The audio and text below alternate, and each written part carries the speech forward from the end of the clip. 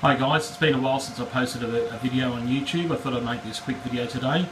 Um, you might notice I'm in a different location. I've actually built this little uh, room out the back of my house to house my machines. It's a little bit tight, but it's better than having it in the garage, in the, in the road, you know, the cars in the way and all that sort of stuff. So I've got my lathe in here. got a new addition, and it's a little CNC lathe called a Rhino. And uh, stay tuned, that will be coming up online probably within the next couple of months. I'll get it up and running. Anyway, the reason for posting this video today is because my belt upgrade kit has arrived for my Titan milling machine. Uh, special thanks from Stuart, uh, Stuart at Titan Machinery uh, up on the Central Coast in New South Wales. He actually contacted the factory and had these made for a couple of us, which was really uh, good of him. It's uh, quite a good little kit. It's everything comes. You can see comes with a belt, uh, pulleys, this new shaft, this hollow shaft that drives the uh, allows the quill to be driven still and everything. Um, these are magnets for the inductors sensor here, the pickup sensor.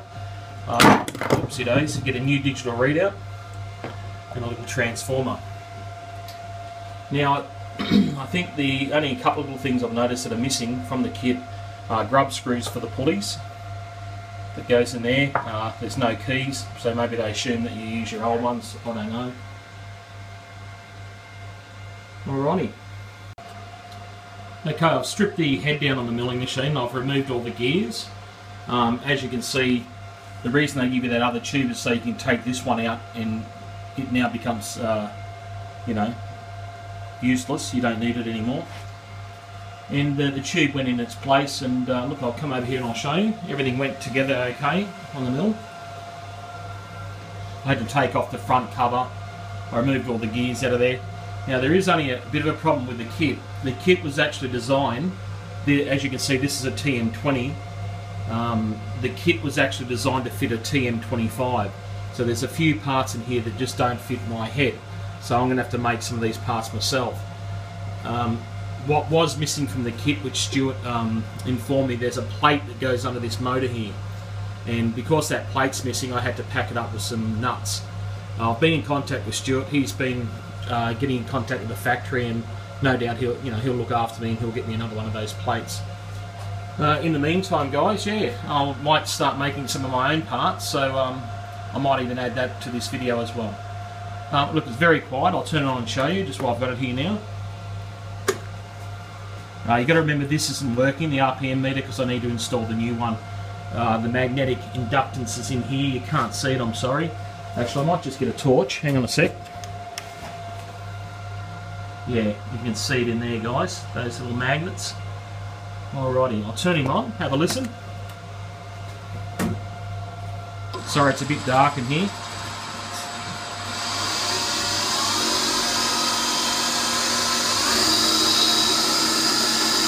That's a lot quieter than it used to be. It's, uh, yeah, very happy guys. Okay, stay tuned.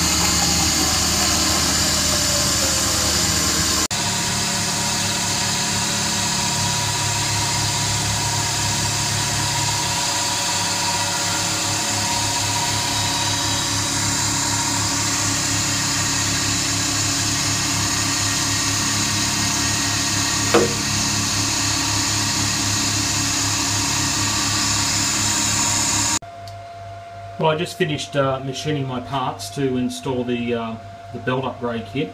This will become my motor base plate. I'm quite happy with the way it turned out. It's uh, just 6061 aluminium, 12.7mm uh, thick.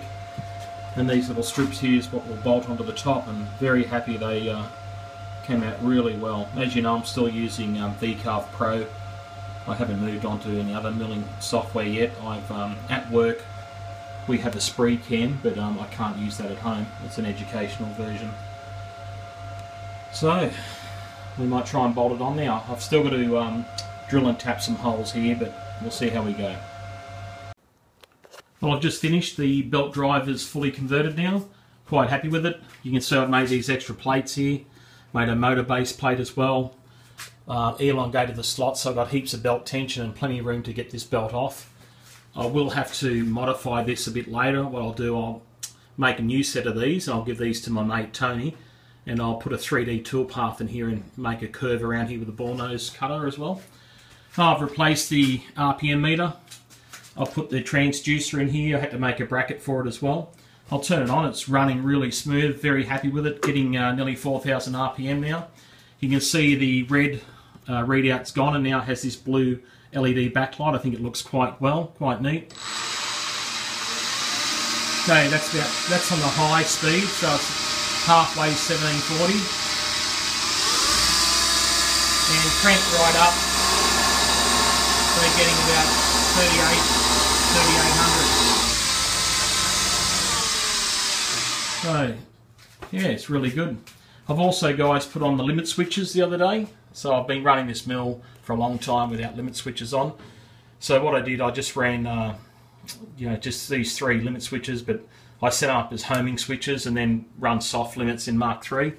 There's one there, one on the X-Tail. I have got the other ones on, but I just haven't got them hooked up yet and the two under here as well. I don't know if you can see that.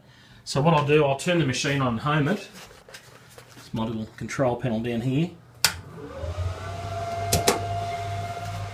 Into Mach3. And what I'll do here is reset the e-stop. And if I reference all home here, you can see the mouse there. What it's doing, it goes, it will jog the Z up first.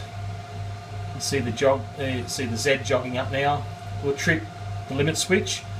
I had to uh, set up a debounce function as well because these switches a little bit noisy and I couldn't get it to work. That's you do that in config. Now when it goes back and homes, it will actually reset the machine to zero as well on the dash of Mark III. And there you go, they're all home. And just to confirm that there's three green lights up and all zero zero. So I turn off machine coordinates I bring it to the actual G54 offset. We'll come back to the centre. I don't run my mill that fast. I only run it flat out speed is 500 millimeters per minute.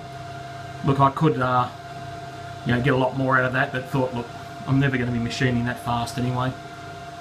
So I was a little bit slow, but it does me.